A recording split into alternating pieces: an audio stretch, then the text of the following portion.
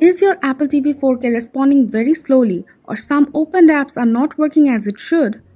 Or maybe an app has crashed so you're looking for a way to force restart the app? In this video, we will show you how you can close all the apps running in the background or force restart an app on the Apple TV 4K. Let's check it out. Double press on the home button on the Siri remote. You will get the app switcher and you will be able to see all the apps running in the background. Now select an app, swipe up on the touch sensor to close it. Now close all the apps one by one if you want to close all the apps running in the background. After all of them are closed, open the one you want. And this is the way you can force restart an app on the Apple TV 4K.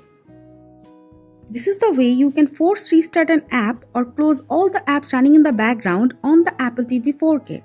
We hope it was helpful. If you have any query on the topic, let us know in the comment box and always stay with our channel. Thank you.